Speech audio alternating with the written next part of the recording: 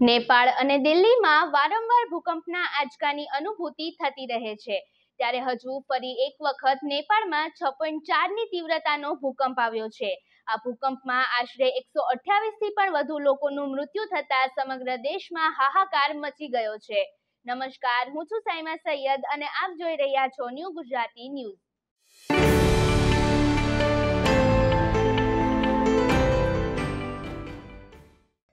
નેપાળમાં શુક્રવારે રાત્રે અગિયાર વાગીને બત્રીસ કલાકે છ પોઈન્ટ ચારની તીવ્રતાનો ભૂકંપ આવ્યો હતો.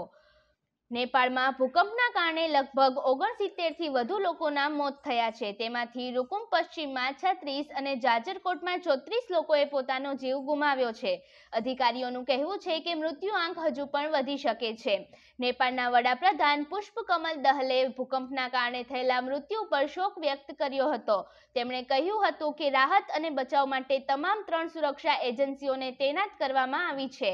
નેપાળના ભૂકંપના આંચકા, દિલ્હી, નોઈડા, ગાઝિયાબાદ ઉત્તર પ્રદેશ મધ્યપ્રદેશ, રાજસ્થાન, હરિયાણા, પંજાબ અને બિહારની રાજધાની એવી પટનામાં પણ અનુભવાયા હતા. તેનું કેન્દ્ર નેપાળમાં કાઠમંડુથી ત્રણસો એકત્રીસ કિલોમીટર ઉત્તર પશ્ચિમમાં દસ કિલોમીટર ભૂગર્ભમાં હતું. ભારતમાં ભૂકંપના કારણે અત્યાર સુધી કોઈ જાનમાલના નુકસાનના સમાચાર આવ્યા નથી. ગયા મહિને પણ દિલ્હી એનસીઆરમાં ભૂકંપના તીવ્ર આંચકા અનુભવાયા હતા, જેની તીવ્રતા રિક્ટેર સ્કેલ પર છ પોઈન્ટ એક માપવામાં આવી હતી. તો નેપાળમાં બે હજાર પંદરમાં સાત પોઈન્ટ આઠની તીવ્રતાનો ભૂકંપ આવ્યો હતો, જેમાં બાર હજારથી પણ વધુ લોકોના મોત થયા હતા. આમાં લગભગ પાંચ લાખ ઘરોને નુકસાન પણ થયું હતું. મધ્યપ્રદેશના ભોપાલ, ગ્વાલિયર, જબલપુર સતના અને રીવામાં પણ ભૂકંપના આંચકા અનુભવાયા હતા. રાજ્યના અગરમાલવા અને મોરેના જિલ્લાના કેટલાક ભાગોમાં પણ ભૂકંપના આંચકા અનુભવાયા હતા. પ્રાથમિક માહિતી મુજબ રાજ્યમાં કોઈ નુકસાનની માહિતી હજુ સુધી મળી નથી. બિહારમાં પણ પટના, અરાહ, દરભંગા, ગયા, વૈશાલી, ખાગરિયા, સિવાન, બેતિયા, બક્સર આ સિવાય અન્ય અગિયાર જિલ્લાઓમાં પણ ભૂકંપના તીવ્ર આંચકા અનુભવાયા હતા. ભૂકંપ દરમિયાન લગભગ એક મિનિટ સુધી ધરતી ધ્રુજતી રહી.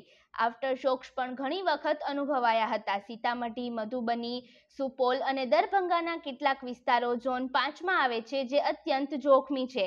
રાજધાની પટના સહિત બિહારનો બાકીનો ભાગ ઝોન ચારમાં આવે છે, જ્યાં ભૂકંપનું જોખમ ખૂબ ઓછું છે.